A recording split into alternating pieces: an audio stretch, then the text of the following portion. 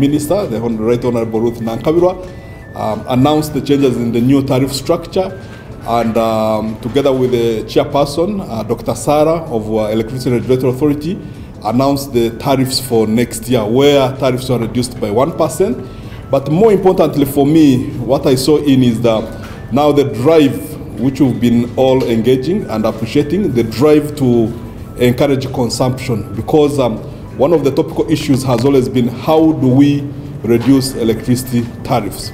So, as always I say, is um, it's two way. Um, first of all, you reduce your costs up, generation costs, transmission costs, distribution costs. Secondly, you drive efficiencies, um, for example, in reducing energy losses.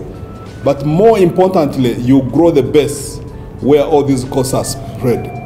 What that means that economies of scale is the more the kilowatt hours you, you push out, the lower is expected in reduction in uh, end user tariffs. As you may have noted from the statement of the right on, of the Honorable Minister of Energy, uh, Honorable Ruth Nankabirwa, three things were introduced.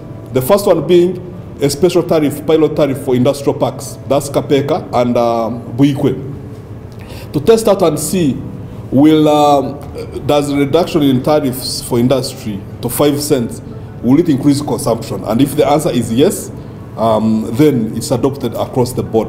But if the answer is no, then new mechanisms, including subsidies, is considered.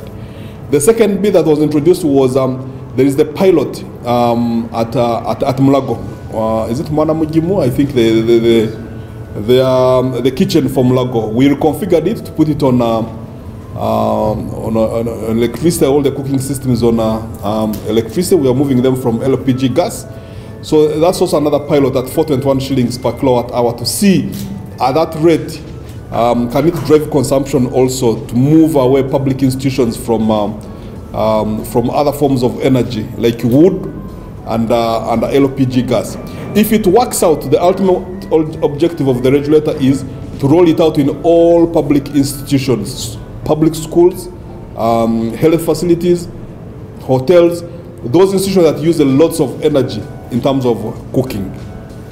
The third thing which I saw, which was very good also from the statement, was a recognition for domestic customers that beyond uh, some threshold, which is 80 kilowatt hours, then you get a discount. So the more you use, um, the less your bill. To encourage our homesteads and domestic customers to move away from other forms of energy of, for cooking. For example, can we replace your LPG gas? Can we replace your wood at home? Can we replace your charcoal at home? Can we replace your, uh, your kerosene by giving you a discounted um, reduction uh, the more the power you use? So we welcome those moves. We welcome the reduction of 1% to our other customers, and we believe this combined with other initiatives will assist in driving the energy sector Uh, from a pricing perspective to, to lower rates.